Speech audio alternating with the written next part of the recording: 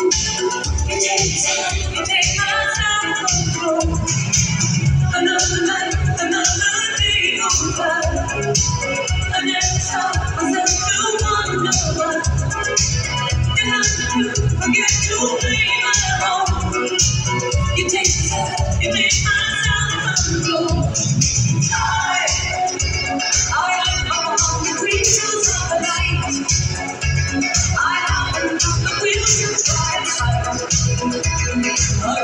So I guess just leave it.